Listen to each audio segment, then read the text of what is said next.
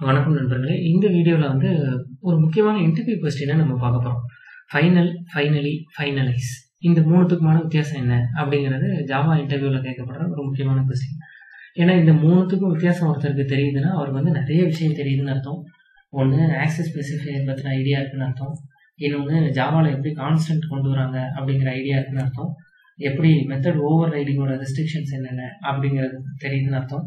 அது மூலமாக பாலிமார்பிசம் நல்லா தெரியுதுன்னு அர்த்தம்.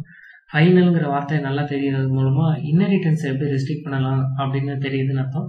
இப்படி ஒருத்தர் மூவ்ஸ் நல்லா தெரியுதா அப்படிங்கிறத ஒரு சின்ன கேள்வியிலேயே கண்டுபிடிக்கலாம் அப்படின்னா அதில் ஒரு முக்கியமான கேள்வி ஃபைனல் ஃபைனலி ஃபைனலைஸ் இந்த மூணுத்தையும் வித்தியாசம் ஒருத்தர் கரெக்டாக சொல்லிட்டாருனாலே அவருக்கு வந்து ஆப்ஜெக்ட் ஓரியன்ட் ப்ரோக்ராமிங்கில் நல்ல ஐடியா இருக்குது அப்படிங்கிறத இன்டர்வியூவர் புரிஞ்சுக்கிட்டு இப்போ அதுதான் நம்ம டிஸ்கஸ் பண்ண போகிறோம் இப்போ அந்த டிஸ்கஷனில் தான் நம்ம வந்து இதை பா பார்த்துக்கிட்டு இருக்கோம்.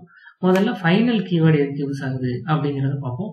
ஃபைனல் கீவேர்டு வந்து ஆக்சஸ் மாடிஃபையர்ஸில் ஒன்று நமக்கு தெரியும் public private protected default abstract finally abstract final static இதெல்லாம் வந்து ஆக்சஸ் மாடிஃபையர்ஸ் ஆக்சஸ் மாடிஃபையர்ஸ் வந்து நம்ம என்கேப்சுலேஷனில் படிச்சிருக்கோம்.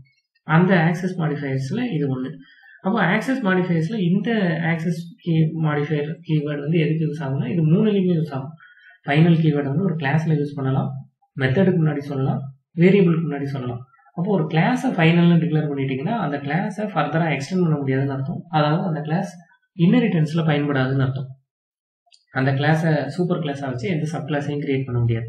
இப்போ final class cannot be extended இன்னொன்று ஃபைனல் மெத்தட் ஒரு மெத்தடை ஃபைனல்னு கொடுத்துட்டோம்னா மெத்தட் ஓவர் ரைடிங்கில் அந்த மெத்தடை பயன்படுத்த முடியாதுன்னு அர்த்தம்.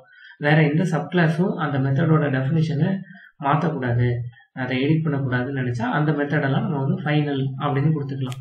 அப்போ final method cannot be overridden இன்னொன்று ஃபைனல் வேரியபிள் ஒரு வேரியபிளோட வேல்யூவை சேஞ்ச் பண்ணக்கூடாதுன்னு நினச்சா ஜாவாவில் கான்ஸ்டன்ட் அப்படின்னு கீவேர்டு கிடையாது.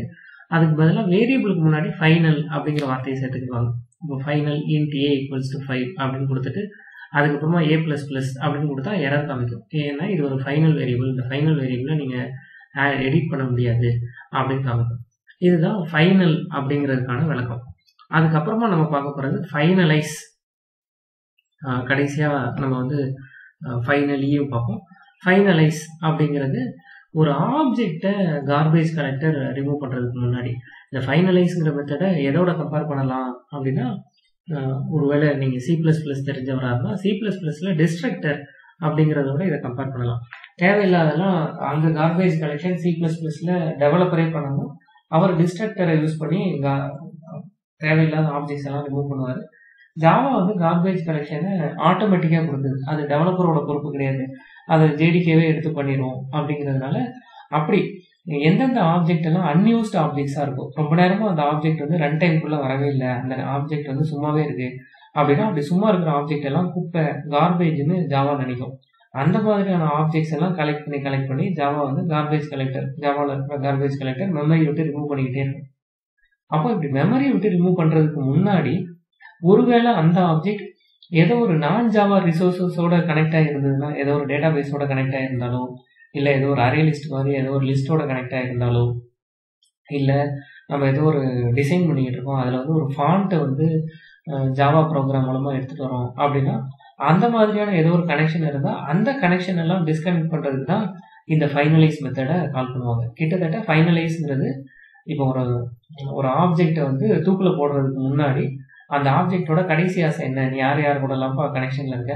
அந்த கனெக்ஷன் எல்லாம் வெட்டி விடுறது தான் இந்த ஃபைனலைஸ் மெத்தடோட வேலை. அப்போ ஃபைனலைஸ் மெத்தட் என்ன யூஸ் அப்படின்னா finalize method is used in garbage collection garbage collector before removing the particular object from memory it will call finalize method for getting no for knowing what are all the activities associated with that particular object அப்படின்னு தெரிஞ்சுக்கிறது அப்படின்னு நம்ம இன்டர்வியூவில் பதில் சொல்லலாம்.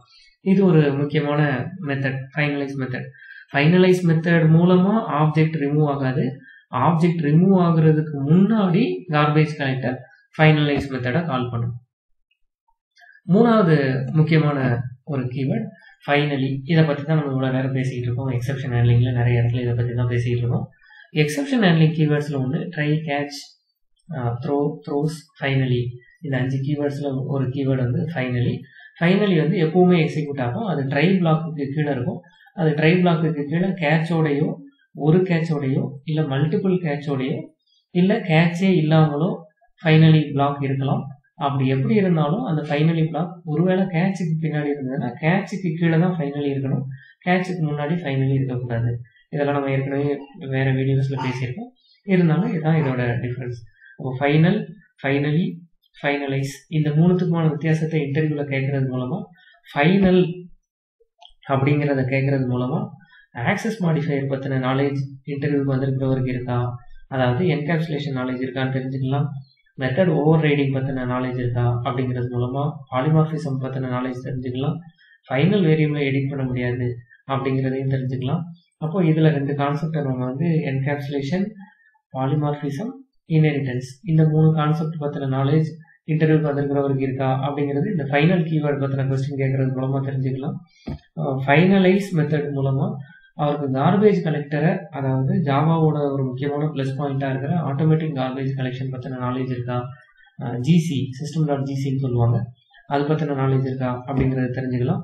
Finally அப்படிங்கிறத answer பண்ணுறது மூலமாக இன்னொரு ஒரு முக்கியமான ஆப்ஜெக்ட் ஓரியன்ட் ப்ரோக்ராமிங் கான்செப்டாக இருக்கிற எக்ஸப்ஷன் ஹேண்ட்லிங் பற்றின நாலேஜும் இன்டர்வியூக்கு வந்திருக்கிறவருக்கு இருக்கா? அப்படிங்கிறதையும் இன்டர்வியூவர் தெரிஞ்சுக்கிட்டுவார் இப்படி ஒரே கேள்வி மூலமாக நிறைய விஷயங்களோட பேஸ் ஐடியா இன்டர்வியூக்கு வந்திருக்கிறவருக்கு இருக்கா? அப்படிங்கிறத நம்ம தெரிஞ்சுக்கலாம்.